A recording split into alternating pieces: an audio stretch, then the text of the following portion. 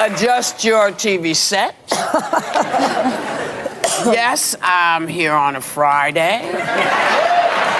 So Whoopi Goldberg is on The View on a Friday, which uh, she's usually there from Monday to Thursday. This is a very unique moment in history. That's why we're all at the table. So this is kind of a rare appearance for Whoopi, as Joy Behar usually covers Friday. So I'm going to say something you've never, ever heard me say before. So this is the moment where Whoopi speaks on a certain president who had a guilty verdict recently. Yes, Donald Trump, but she doesn't like saying his name. That took a chunk out of primary votes from you know who. The man in charge. You're talking about the president. Yeah. You never say his name. I don't. Why? I can't. Really, it's only one syllable. I know. Do you find it interesting that the relationship between China and the new guy? Uh, Just won't say his name. I, I, no, I won't. Do you think that it it somehow honors him to use his name?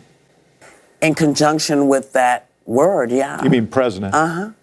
I see. Yeah. So, you know, it's clear that Whoopi does not respect or frankly like Donald Trump. But now recently that he's been convicted, she's actually she's actually been saying his name. Donald John Trump Don't choke. is a convicted, convicted felon.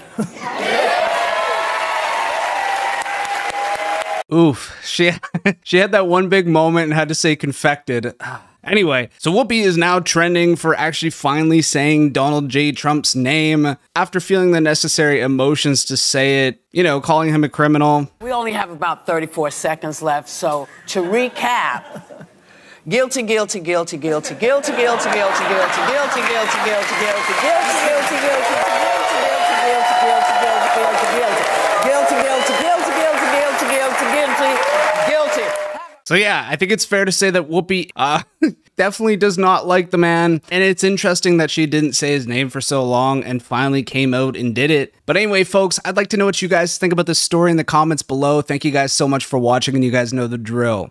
Ta ta for now.